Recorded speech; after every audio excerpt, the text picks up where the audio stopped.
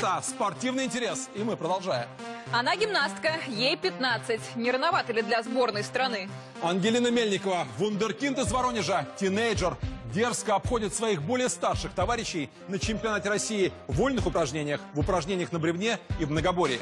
А ведь еще совсем недавно она сама, затаив дыхание, следила за работой на снарядах признанных лидеров Алии Мустафиной и Виктории Комовой. А теперь перед Ангелиной загорается зеленый свет на июньский чемпионат Европы в Швейцарии. И где-то там, на горизонте, мелькают очертания Олимпийского гимнастического центра в Рио-де-Жанейро. О новой надежде российской спортивной гимнастики гутоперчивой девочки Екатерина Ведмедь.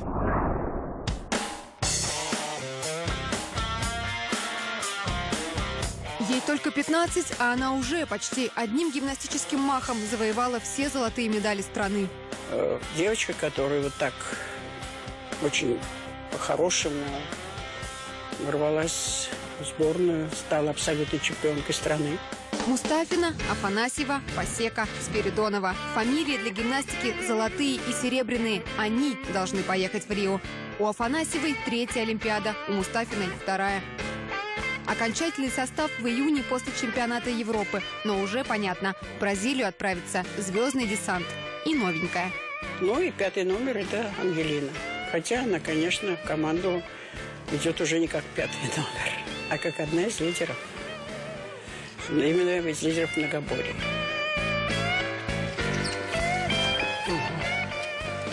Ладно, ладно, неплохо. Но что-то не так в этом звездном списке. Дебютантка Мельникова есть, а прославленной Виктории Комовой пока не видно. Заговорили, проснулись старые травмы. Вика упала, но не на мат, на больничную койку. Насчет Комова я вам хочу сказать, что буквально вчера позвонил ее тренер, сказал, что ее опять положили уже в Воронеже на обследование. И вопрос участия ее в чемпионате Европы закрыт. А к Олимпиаде все-таки она будет готовиться. Все будет зависеть от того, э, какой диагноз ей поставят доктора. Неужели Ангелина Мельникова в звездном списке только землячку Комову заменяет? Еще несколько лет назад в Воронежской школе смотрела на ее сальто снизу вверх. Я смотрела на нее просто. Она была в черных перчатках, крутилась, кажется, на кольце. Я просто смотрела на нее так. Как боялась очень сказать ей привет. Ангелина гибкая, но не сгибаемая. Не вместо кого-то, а на своем месте уверена в сборной. Ведь на чемпионате России обошла саму Алию Мустафину. Правда, прославленная гимнастка пропустила почти год. Это все отголоски травмы 2011-го. Она вспоминает о ней до сих пор. Я понимаю, что сколько народу на меня смотрит по телевизору. И вот у меня вот так вот получилось. То есть меня уносят с помоста на руках, отвозят в больницу. Разрыв крестообразных связок. После такого редко возвращаются. А она выигрывает золото на Олимпиаде в Лондоне уже через год. Но травма беспокоит и сейчас. А до Рио-то всего 4 месяца. И может так случиться, что теперь Ангелина Мельникова главная, хоть и маленькая, надежда страны. Очень хочу, чтобы она э, понимала, что она полноценный и очень серьезный соперник всем девочкам в команде. И э, не надо бояться, что у тебя очень хорошо все получается. Потому что старушки должны тоже понимать, что там за спиной уже наступают на пятки. Она-то знает, свою первую международную медаль тоже выиграла в 15. Но не рано ли на Олимпиаду в таком возрасте? Надо э, ехать и, и драться. Глядя на нее на чемпионате России, я увидела такие мелочи очень важные, которые может увидеть профессионал.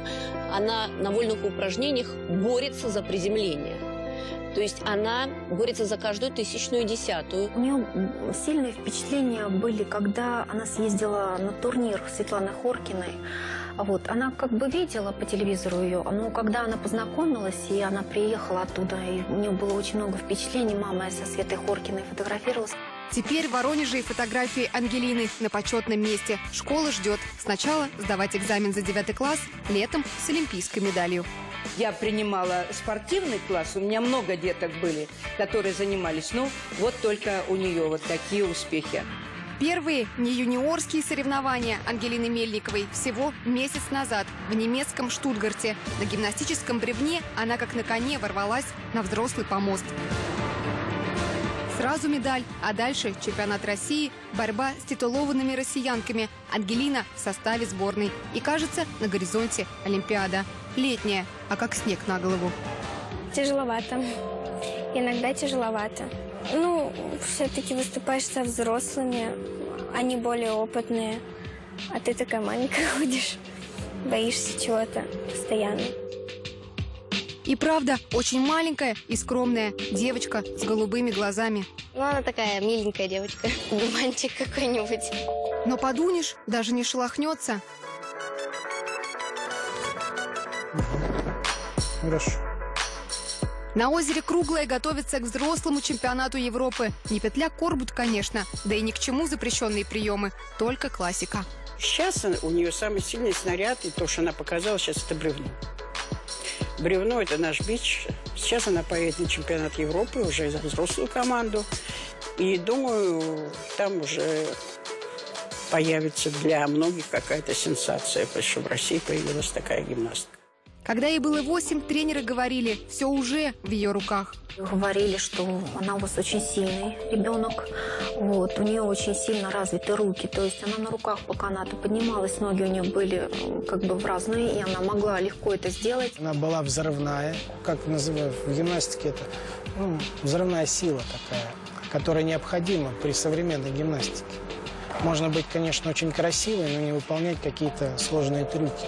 Но спешить все равно не стоит. Хоть и Олимпиада на носу, стать звездой, говорит тренер, как Мустафина или Комова, Ангелина всегда успеет. Взлетела хорошо, но в гимнастике главное правильно приземлиться. Екатерина Ведмедь, Александр Белоусов, Сергей Сорокин, Иван Статенин и Юлия Малашина. Матч ТВ. Ангелина Мельникова. Имя, которое стоит запомнить. Это был спортивный интерес. Мы встретимся с вами